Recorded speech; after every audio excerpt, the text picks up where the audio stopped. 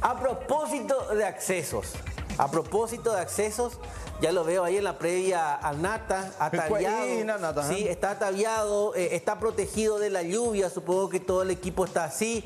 Están ajustando algunos detalles, pero ¿cuáles son los datos que nos tiene Nata? Conozco esa calle Nata y sé, sé que parece un lugar en donde recientemente se se produjo un eh, ataque bélico. Sí, los misiles de Putin parece que cayeron sí, sí, parece que los de, refilón nos alcanzaron algunos misiles que, que rebotaron de Ucrania en ese sector. ¿Cómo estás, Nata? Buen día. ¿Qué tal Alexis? ¿Qué tal Silvio? Y vos sabés que este escenario me recuerda al curso de corresponsal de guerra que hicimos hace cuestión de 15 días. Como decía, parece un campo minado donde hubo explosiones por la cantidad de baches Lastimosamente se vino la lluvia, Alexis y Silvio, y eso hace que se acumule eh, el agua en los baches y prácticamente no se pueda ver la cantidad de baches que hay aquí sobre segunda proyectada entre Estados Unidos y Félix Bogado. Es impresionante porque toda la cuadra está minada de baches. Los automovilistas, en cierta manera, cuando hay mucho flujo vehicular, pasan lento, pero cuando está medio vacío la calle, eh, van acelerando y es impresionante el sonido que hacen los vehículos al atropellar estos baches.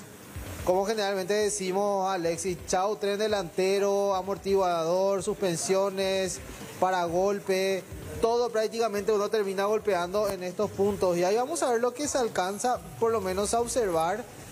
Eh, digamos por la cantidad de agua que ya cayó sobre esta arteria. Pero fíjate el peligro representa hasta para el motociclista un peligro porque puede perder el equilibrio y caer al suelo en cualquier momento. Reitero, esto es segunda proyectada entre Félix Bogado y Estados Unidos.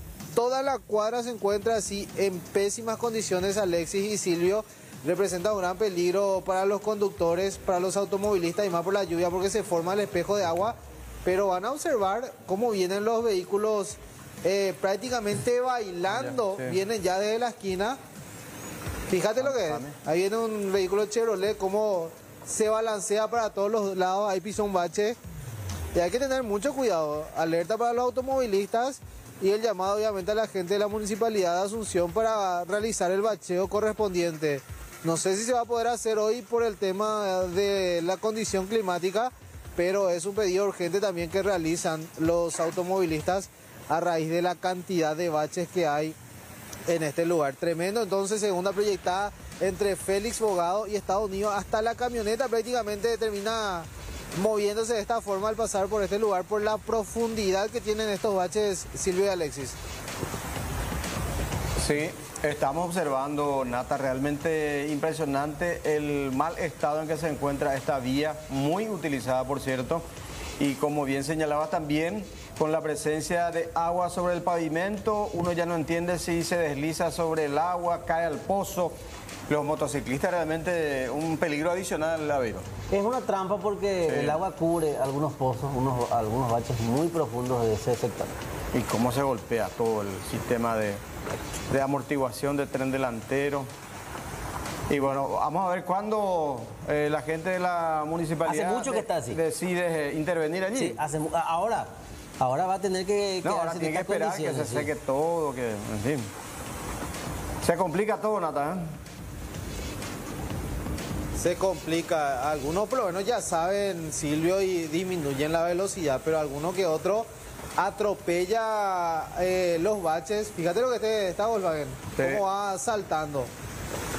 Le pisa el acelerador y el ruido que hace, no, no creo que se alcance a escuchar por el sonido ambiente, pero es impresionante cómo golpea el tren delantero eh, cuando pasan a alta velocidad. Los que no conocen al menos la cantidad de baches que hay en este sitio. El taxista, por ejemplo, ya sabe, siempre pasa por acá y conocen las calles. Claro. Mira esta camioneta cómo se va bailando. Y como dato adicional, ya, Nata, eh, por decirte, para mi autito, Alexis, sí. un amortiguador de la Casa de Representantes te cuesta 1.400.000 guaraníes. Un solo amortiguador. Imagínate lo que es eso para el bolsillo del ciudadano común. Sí, totalmente, totalmente, eh, Silvio. Eh, mínimo entre 500 mil guaraníes, supongamos el más barato, para ah, cualquier tipo de vehículo. Sí, mínimo estamos hablando. Algún amortiguador y después mano de obra y todo lo que implica el cambio. Famoso, te reparamos, te ponemos lo nuevo. Sí.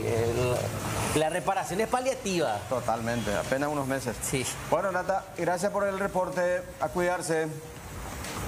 Una, un abrazo, hasta luego.